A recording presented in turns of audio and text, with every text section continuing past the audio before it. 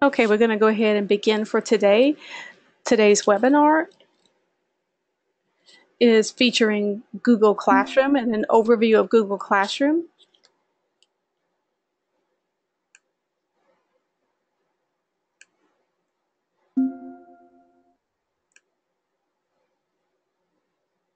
And I want to welcome you to today's webinar. I'm Carla Kuiper, and I'm an EBR Instructional Technology Facilitator and a Google for Education Certified Trainer. This webcast is worth one CLU.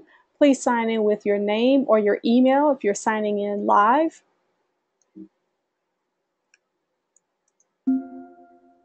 I want you to know that this webcast is being recorded. These slides will be shared with everyone.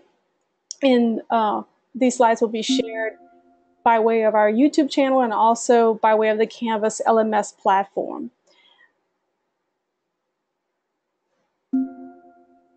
I want you to know that this webcast is part of an ongoing series of webcasts and webinars that you can catch on our YouTube channel.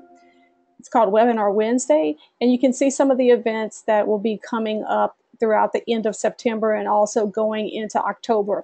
I want you to know that you can check Go Sign Me Up for details, sign in links, descriptions, and to check your CLUs for webinars attended.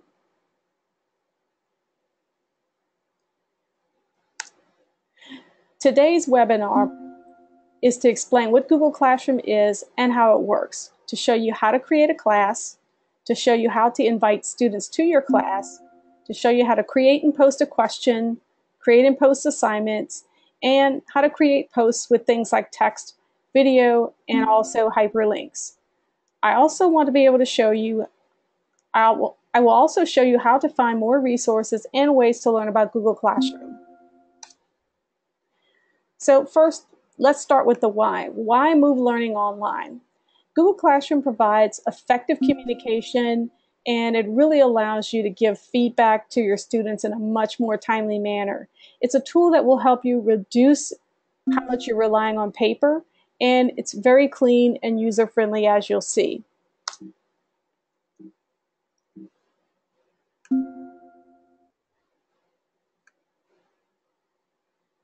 To get the most out of Google Classroom and to get the most out of this webcast, you really need a working Google account. So you need to be using Google Chrome and you need to sign in to Google Chrome and go to the hyperlink that's on the slide that you see, accounts.google.com. In EBR, your EBR email address and email password are your passport to getting into Google Classroom. There are a few ways that you can access Google Classroom if you're having difficulty logging in. You can go to the district's reset password website set up for this school year it's called pass.ebrschools.org, and the link is on the slide. You can also reset your computer login. Just keep in mind that this will also reset your Google, email, JCampus, and also Canvas. Or you can place a help desk request at helpdesk.ebrschools.org.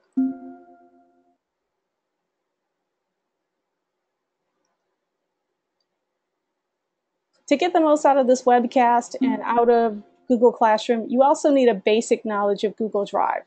So to benefit from Google Classroom, you need to be able to access mm-hmm. your Google Drive. You need to be able to do things like upload a file from a USB drive, to understand that they're files and that, that you can also have mm-hmm. folders in Google Drive, and just some basics on how they work. It helps if you can share a Google Drive file and you understand how that process works. And it also helps if you can search Google Drive to find your files. So a working knowledge of Google Drive is really all that you need. And if you have um, additional questions about Google Drive as you look at Google Classroom, I'll show you where you can get some additional training on Google Drive so you can get that background that you might need. I want you to know that in Google Classroom, there are different roles. And this can be confusing when you're getting started.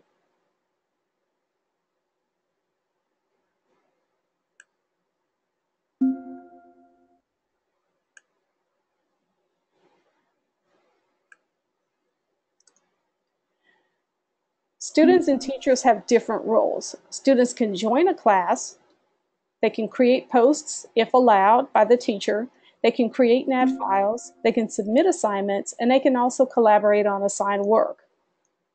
On the other hand, teachers have a different role.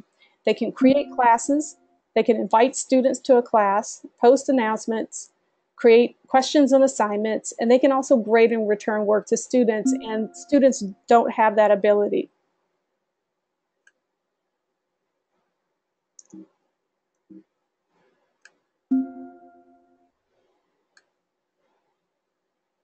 So let's talk about creating a class. Once you're logged in, you'll want to create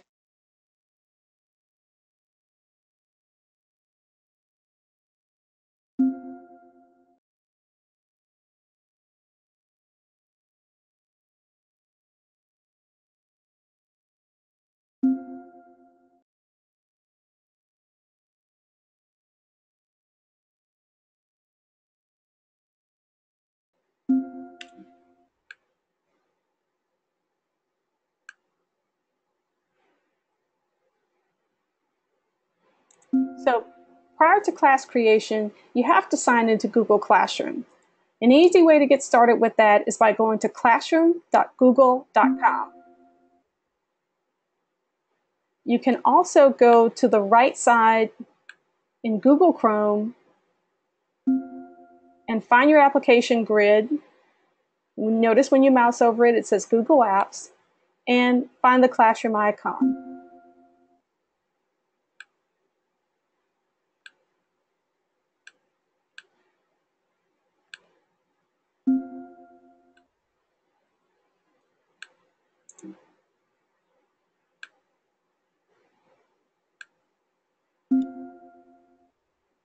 It's really important to keep in mind that the first time you sign in, you need to make sure that you select that you are a teacher. Even if you're in a training and you're planning to join someone else's class, make sure that you select that you're a teacher.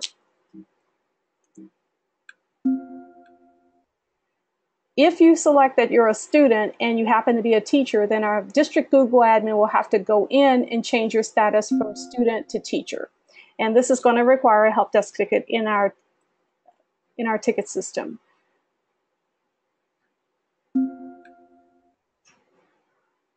After joining the classroom as a teacher, you can create a new class by clicking on the plus sign to create a new class. So underneath your email address, you'll see where you should have the option to join or create a class. And so you want to select the option to create a class.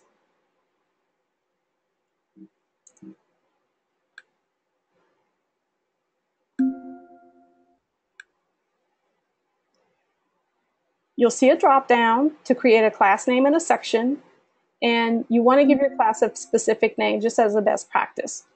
More specific class names are better, especially if you teach multiple classes. So from the live view, that looks like from your home page, selecting the plus sign, creating a class, and giving your class a name.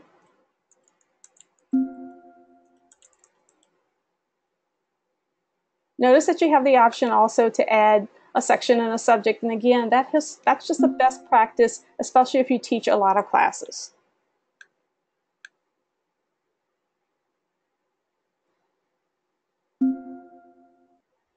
And it may take a minute. Once your class is created, you go directly to your class's homepage.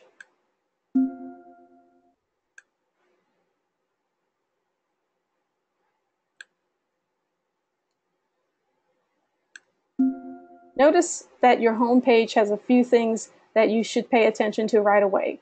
First, your class title, your three main tab areas, Stream, Students, and About, your email address at the top right, and then an area where you can select a theme or even upload a photo. We go to the live site, you'll see that um, the areas that I was just talking about, the title, your main areas, stream, students, and about.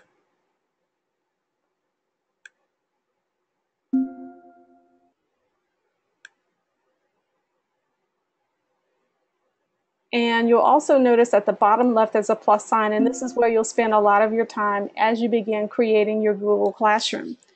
When you mouse over the plus sign, you'll see that you have the ability to create announcements, assignments, questions, or even to reuse posts.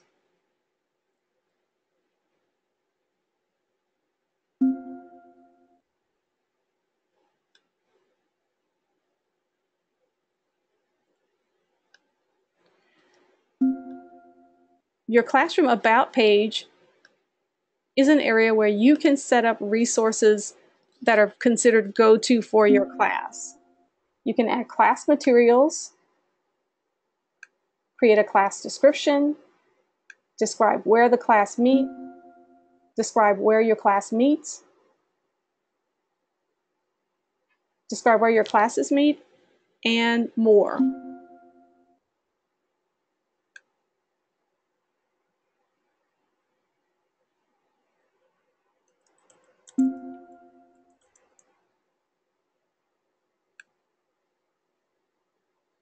Notice that you have a Drive folder, which is the Google Drive folder automatically created for your Google Classroom.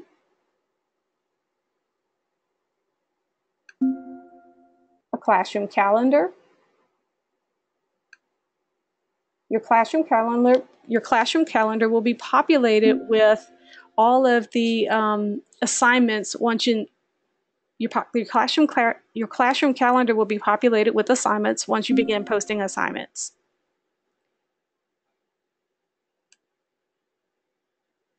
And you also have a Google Calendar for your classroom as well.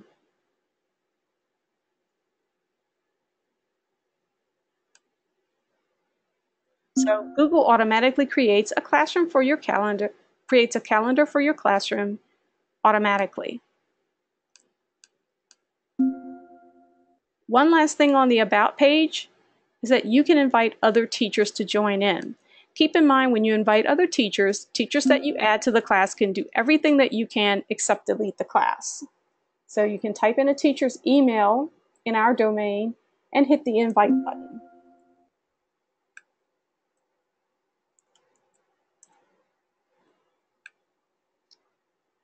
The teacher that you invite will receive an email invitation to join your classroom. They can accept or decline the invitation that you send them.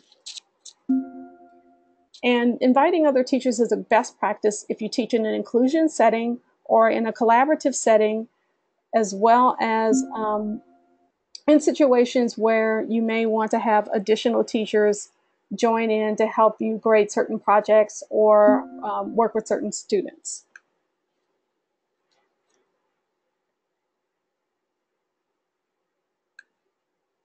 The Students tab is how you get students into the classroom in our district. In our district, email is not turned on for students, so you have to share the class code with students.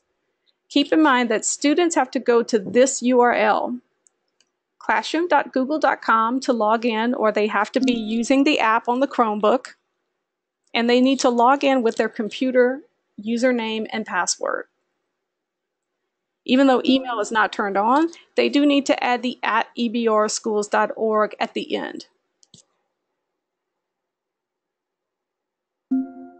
Once students are once students locate the classroom.google.com URL, they can join your classroom by signing in and then entering the classroom code.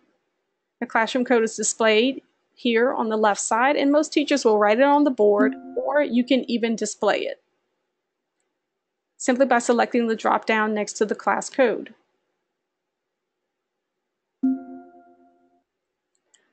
Only students with this code can join your class. And at any time, you can either reset the code, disable it, or even make a copy of it.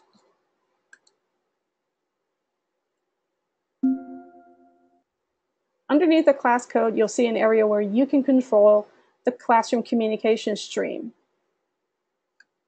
You can allow students to post things in Google Classroom and to comment. You can give them rights only to comment, or you can keep and reserve the right as the teacher to post and do all the posting and commenting yourself. Many times teachers will gradually open up the communication in Google Classroom. Just keep in mind that the default is that students can post and comment. You have to go in and change it so that you would be the only person able to post and comment.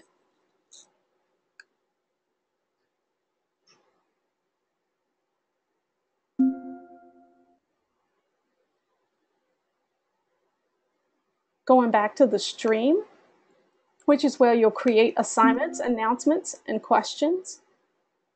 I'm going to go to the plus sign at the bottom.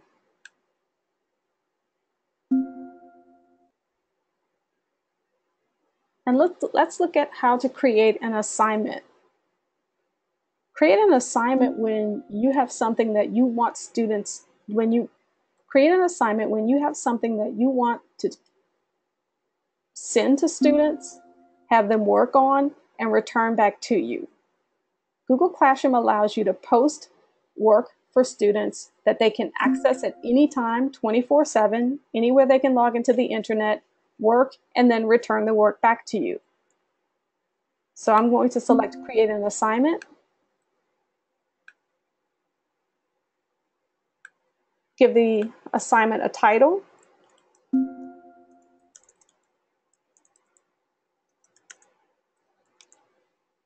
instructions. And it's a best practice to include instructions because keep in mind that students who are absent will need to come in and get the directions.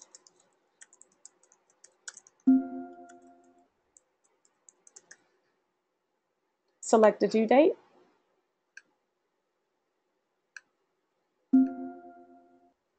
And you can even create topics.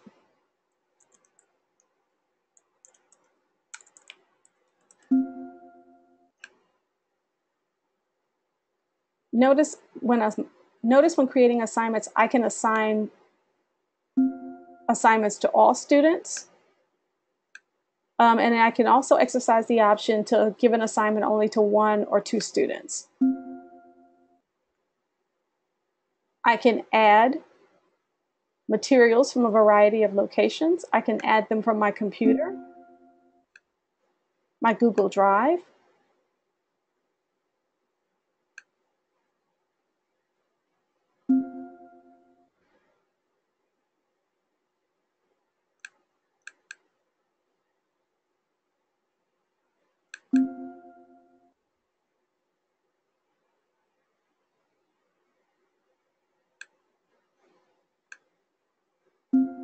I also have the option to add a YouTube video. Notice when I add a Google Doc or a file from my Google Drive, I have the option to allow students to view the file, to edit the file if I want them to do some work. Keep in mind that when they keep in mind that when I select this option, it means that they can edit the file collaboratively. Or I can make a copy for each student when I want them to work individually. I also have the option to add a YouTube video to this assignment.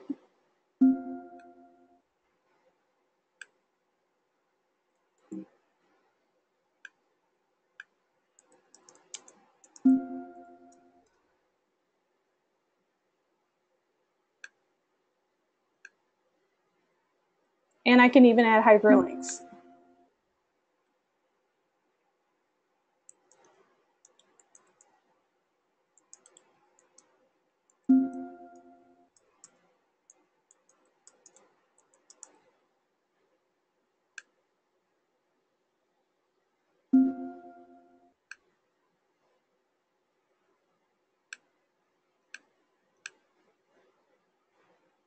Notice mm-hmm. that Google Classroom is always saving the assignment as I edit it. Once I've created my assignment, I have the option to go ahead and assign it to students. I can schedule it for a date in the future. Or I can save it as a draft if I want to come back and edit this assignment later. So I'll go ahead and hit assign.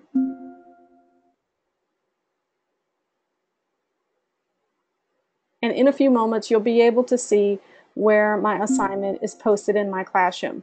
For, this means that students can access it anytime and anywhere that they log into Google Classroom.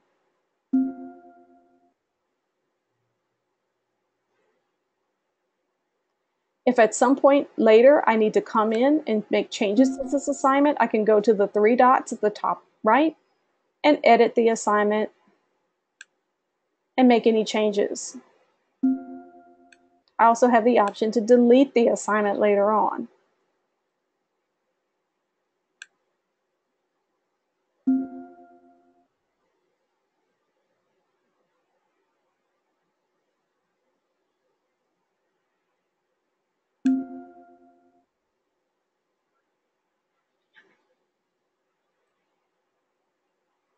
The next type of post that you can create in Google Classroom is an announcement. Announcements are good when you have information that you want students to know, but you don't necessarily need them to respond or to turn anything in.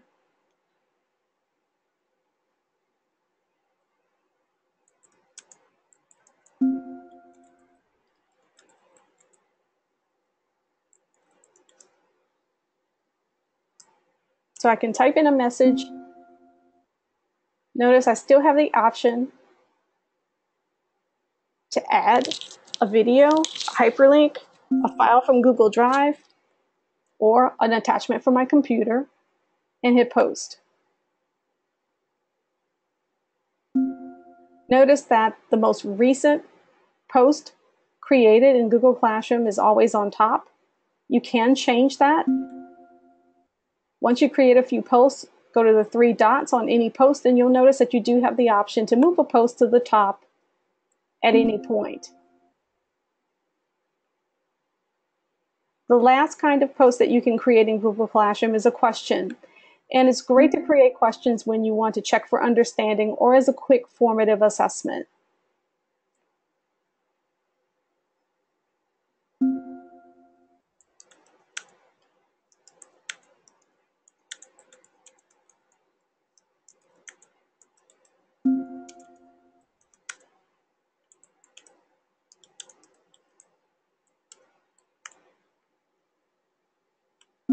Questions can have a due date assigned because we do want students to respond. And you can also set up a time option as well. I want you to notice that questions can be set to be short answer or as multiple choice. And you have the option to turn on whether or not you want students to reply to each other or to edit their answers.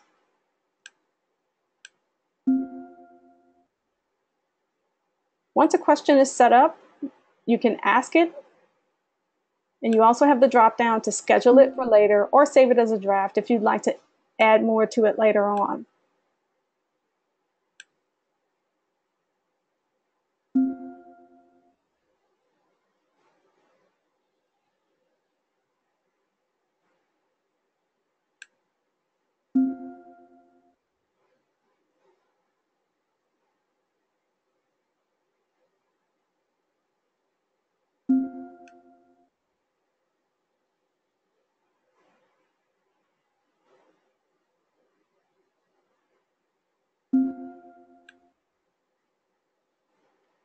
In this webinar, you just learned how to access Google Classroom, how to create a classroom, how to create assignments, questions, and also announcements. If you would like to learn more, keep in mind that this webcast was designed just to give you enough information for you to get going. If you'd like to learn more, we have a few additional resources linked to today's presentation that can really help you. The first one is our Canvas course, Getting Started with Google Classroom.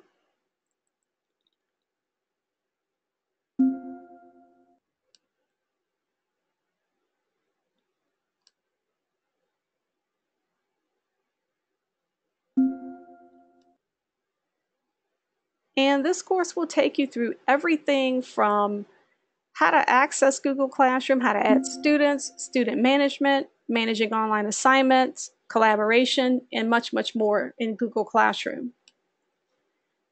You can also visit the Google for Education Training Center. There's a brief online module that contains enough information about Google Classroom to get you started. This online module is part of the Google Certified Educator program. So you want to sign in with your district account and complete the module because it will count towards your Google Certified Educator modules.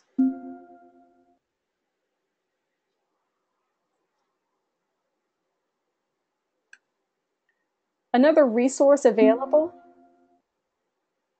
is our Google Classroom Help YouTube playlist.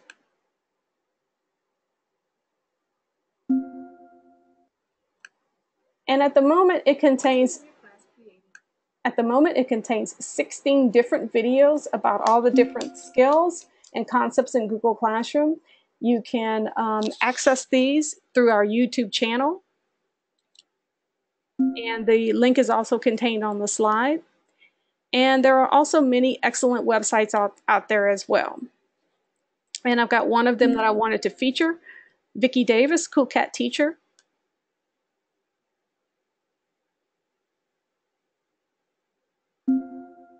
And she's got a wonderful page, 100 plus great Google Classroom resources.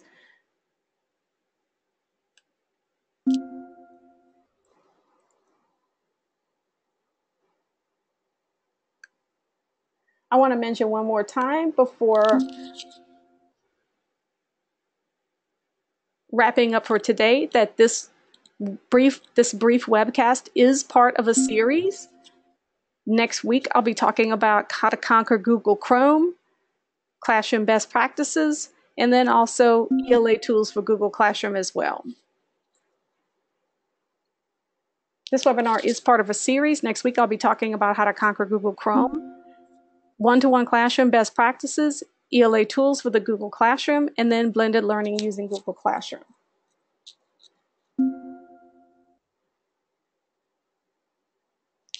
So thanks for joining in and hope to see you again next week.